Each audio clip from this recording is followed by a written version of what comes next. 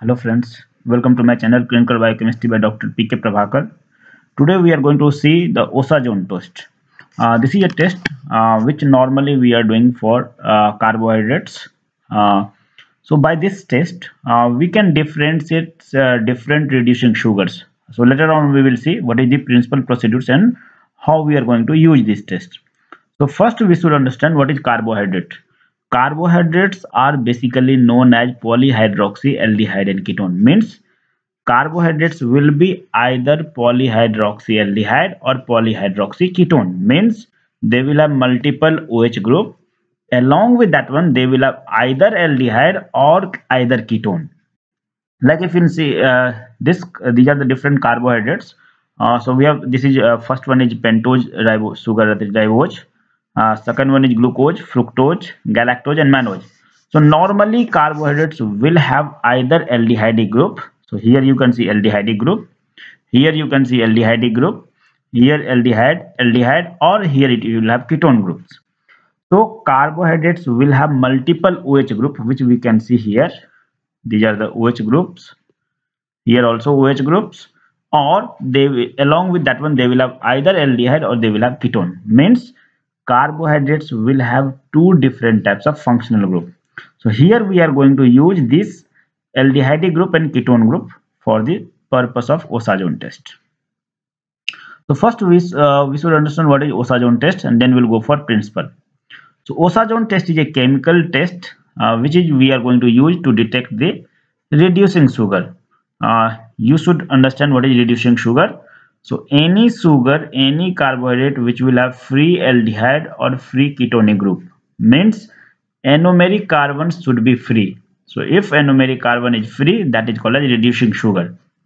So reducing sugar, um, almost all the monosaccharides and disaccharides are reducing sugar except few sugars uh, that I have already made a video on that one.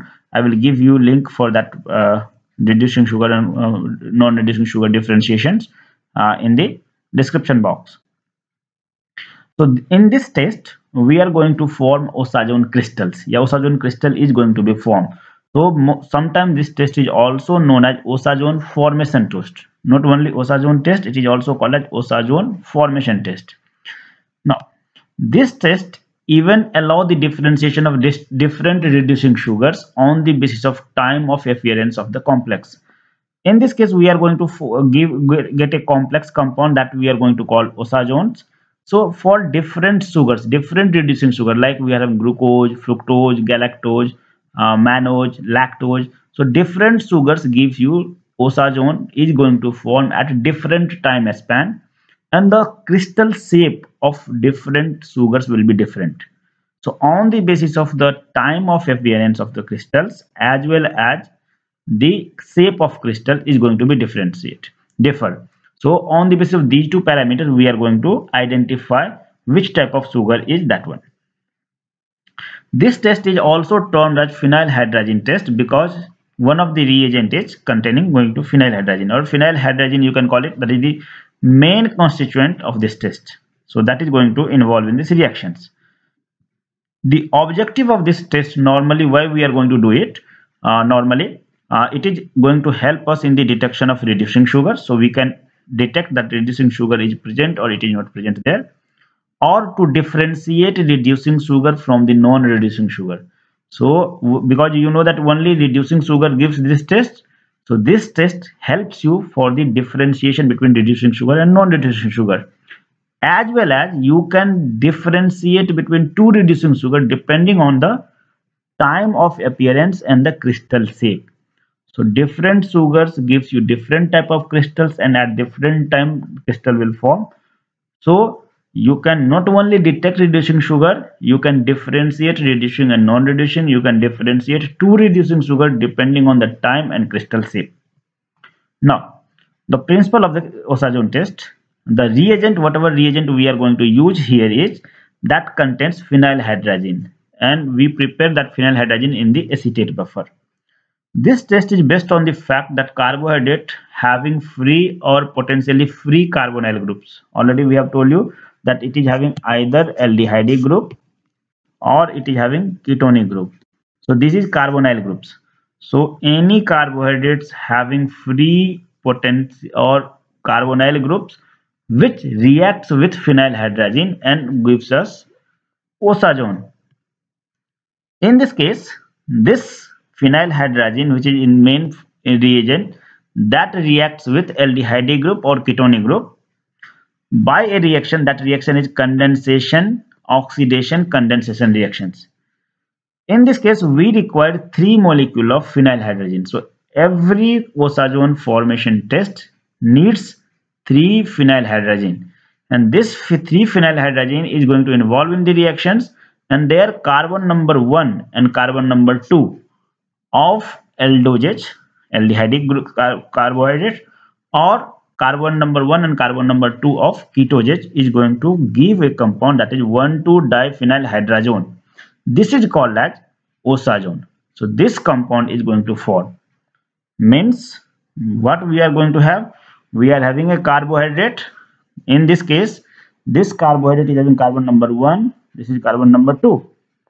Here we are having three molecule of osazone uh, is going to react with carbon number 1 and carbon number 2 and ultimately we are going to get 1 2 diphenylhydrazone. So this is called as osazone test. This is going to give us crystal specific crystals. Normally the color of this crystal is yellow color crystals which will have a specific shape it is characteristic of that particular sugar. It will have different type of solubility. Either it will be water soluble or it will be insoluble. It will have different melting point and time of formation is different. So osazone is different for different sugars. I have already told you glucose gives you different uh, osazone different crystals at different time span. Fructose gives you different type of crystals at different time span. Lactose mannose mal uh, then uh, maltose then galactose different sugars gives you different type of crystals so we can differentiate them now how this three molecule of uh, phenylhydrazine is going to react. So this is a basic carbohydrate structure where we have written only carbon number 1 and carbon number 2. As we know that only first two carbon is going to involve in the reactions. Remaining four carbohydrate or remaining carbons we don't we have not written here.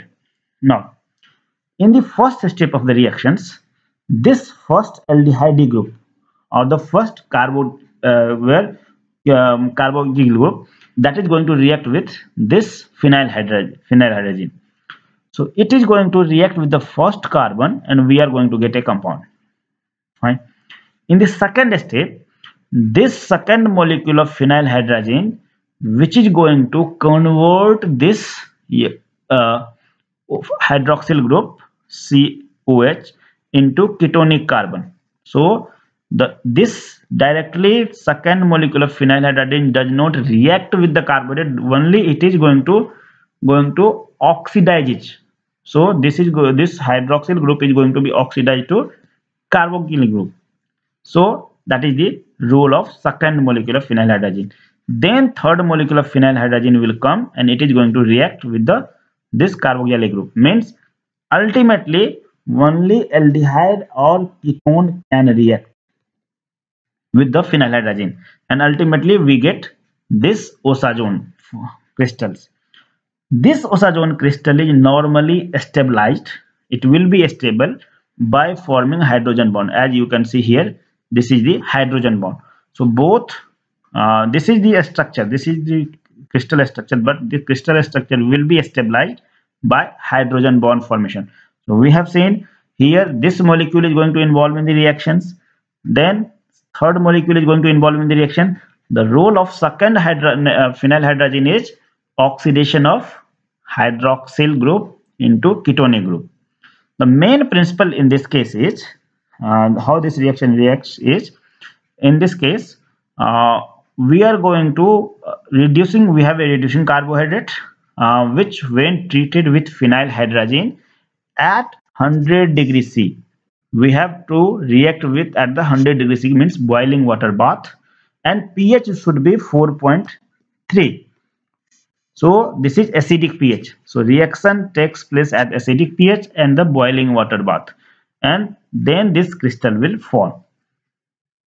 Hope it will be clear. So first in this mainly you can divide into two different reactions. This is reaction number one where first molecule reacts. This is the reaction number two where second reaction happens. But before second reaction we have to activate this OH into ketone group.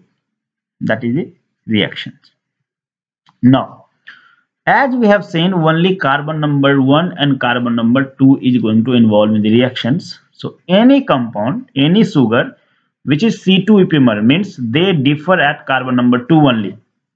So they are going to give us same type of osazone like here we are having glucose and here we are having mannose if you see everything is same only these two sugar is differing at this carbon.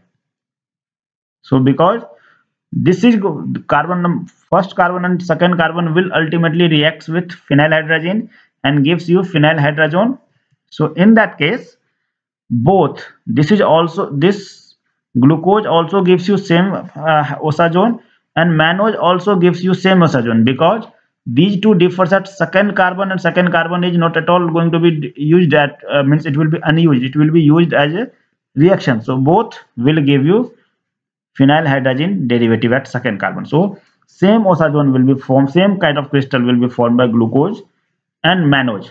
Not only this epimers have C2 epimers but also all those ketones or aldoses which differs at carbon number 2 gives us same type of osazone like glucose and fructose.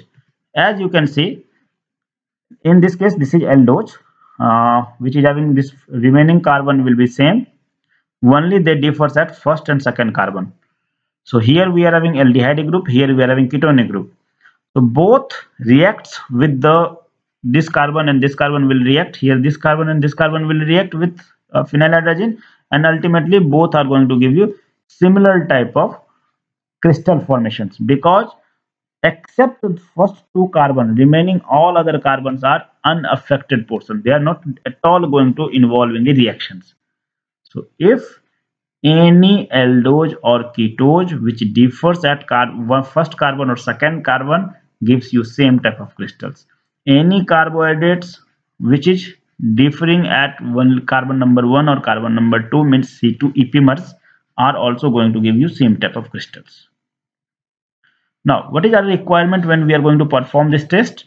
It requires reagent that is one of the reagent that is main mixer main reagent is osazone mixtures where which can be prepared by 0.5 gram of phenyl phenylhydrazine hydrochloride dissolved in 0.1 gram of sodium acetate. You have seen this reaction occurs at 4. Uh, 3 pH so acidic pH uh, this glacial acetic acid will be used to make reaction acidic and then test sample which we are going to detect it material we require we require test tube test tube stands pipette and equipment we require vortex water bath and to visualize crystals we, re we require a microscope how we are going to perform this test? First take 5 ml of test sample in a clean test tubes then add 0.3 uh, gram of osazone mixtures and 5 drop of glacial acetic acid. So we have three things here. We have test sample we have osazone mixture reagent and we are having glacial acetic acid. So these two reacts in the in acidic environment you can heat this one uh, this mixture reaction mixture mix gently and you can heat slightly if substance are not going to be dissolved not going to be mixed properly. So there you can heat it. Once it will be mixed completely then put it in water bath and after several uh, minute to minute means after few minutes you can visualize them on the microscope for the any kind of crystal formations. Now how result can be analyzed uh, how we can see the result what is the different type of results we are having so here Based on the shape and structure of crystals and their time of appearance, different sugar can be identified. Like first, fructose is going to give us a fructosazones, the uh, osazone crystals called as fructosazones that roughly form at 2 minutes of time. It is of needle shape and it is water insoluble. Glucose gives us glucosazone, glucosazone that is at 5 minutes of time. It is also needle shape and it is insoluble. Now, glucose and fructose both are aldose and ketose. This is ketose, this is aldose. Both differs at carbon number 1 and 2 only. So we have already seen any carbohydrate which differs at carbon number 1 and carbon number 2 gives us same crystals. So not only glucose, fructose, but glucose and mannose also gives us same type of needle shape crystals because mannose also C2 epimer of glucose. So the mannose will give you mannosazone and that will be needle shape crystal only. Then galactose gives us galactosazones that will be around 20 minutes of time spans and its crystal will be thorny ball shape that is water insoluble. So all the monosaccharides roughly gives us water insoluble crystals. Maltose gives us maltosazone, sorry, and it will be at 30 to 45 minute of time span. It's uh, sunflower or a star shaped. It is water soluble. Lactose gives us lactosazones around 30 to 45 minutes. Its uh, shape will be cotton ball shape or puff shape. That is also water soluble. Now, if no crystal forms after 30 minutes also, then remove the test, test tubes from the water bath and allow them to cool spontaneously. Observe after every 5 minutes till crystal appears up to 25 minutes. So, if no crystal you can see after 30 to 45 minutes, then you can take out the test tubes, cool it spontaneously and every 5 minutes see the samples for the any kind of crystal formations Take that sample from the test tubes, put it on uh, glass uh, with the help of glass rod, take out some crystals on the glass slides, cover them with cover slips and observe under microscope. So you can visualize it. Normally yellow crystals appears uh, in the tubes containing glucose or fructose within first 10 minutes only. So these are the different shapes you can see. See here, this is glucose crystal, this is fructose crystal. So needle shape crystals, mannose that is also needle shape crystals. Here lactose, uh, needle shape crystals in case of xylose, maltose, uh, sunflower like crystals. So these are different type of crystals we can visualize uh, and on the basis of these crystals and time of appearance we can differentiate different reducing sugars. Now remember one thing, a uh, few points that is limitations. The, as this test gives us positive test for sucrose only if you are going to boil for 30 minutes because sucrose is non-reducing sugar sucrose starch all the polysaccharides are non-reducing sugar so if you are going to heat them for longer duration of time then those sucrose or starch will be dissolved. It will be hydrolyzed and give you monosaccharides or disaccharides. That monosaccharide will give you positive taste. Otherwise this uh, sucrose is a non-reducing sugar. That's why it not will it will, it will not give you positive taste. Or starch or polysaccharide. They are non-reducing sugar. That's why they will not give you poly, uh, uh, positive osazone test but after heating for many time means 30 minutes 35 minutes once it will be dissolved it will be hydrolyzed it will give you positive test second limitation of this test is this test is not at all effective if your sample contains more than one different type of sugars. Because you will get different type of crystals and then you cannot differentiate them. So when your sample contains only one type of sugars then you can easily differentiate it. But if you have a mixture of samples you cannot differentiate those crystals which type of sample is present or which sample uh, sample is absent there. Similarly large quantity of sugar is also required for the positive test. So here we require a more amount of uh, sugar samples. So this is all about the osazone test. Hope it will be clear for you. Uh, if you have not subscribed my channel please subscribe it so thank you very much. Have a nice day. You can follow my channels on different platforms different social media. Thank you very much. Have a nice day